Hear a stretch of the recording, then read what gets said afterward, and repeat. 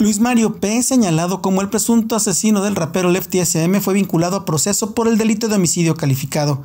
El imputado y otros cómplices utilizaron el carro de un residente del condominio residencial La Cima para acceder a la casa del artista y tratar de sacarlo de su domicilio. Ante la impotencia de los delincuentes para llevarse consigo al cantante, le dispararon y provocaron su muerte. El juez estableció un año como prisión preventiva. Al imputado se le investiga por otros delitos y fue capturado en un operativo efectuado en casa de su madre, donde se ocultaba. El hermano del rapero ofreció una recompensa que terminó siendo de medio millón de pesos, dinero entregado a un familiar político del detenido quien dio los datos para aprenderlo. Para Jalisco TV Noticias, Juan Carlos Huerta Vázquez.